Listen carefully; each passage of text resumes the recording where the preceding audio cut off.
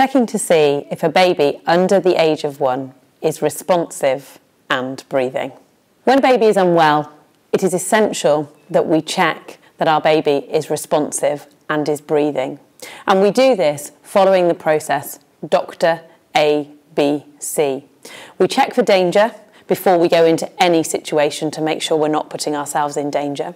And then we want to see if we can get a response from our baby.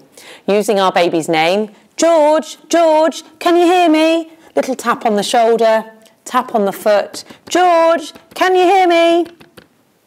We then need to open our baby's airway. And to do this, we very slightly tilt the head and lift the chin to open our baby's airway.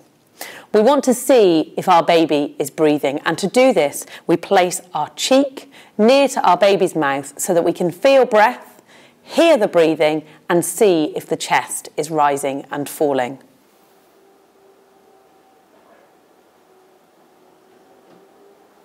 We also want to check circulation, so we want to check for bleeding, and we very carefully check down our baby's body to see if there is any signs of bleeding.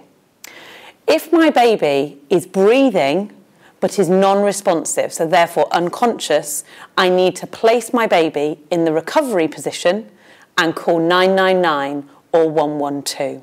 To put our baby in the recovery position, we need to bring our baby towards us, supporting their head, head down, with their chin tilted to open the airway. Keep monitoring your baby and their breathing and keep them held this way until your emergency help arrives. If your baby stops breathing at any point while they're in the recovery position, put them down onto a firm surface and start CPR.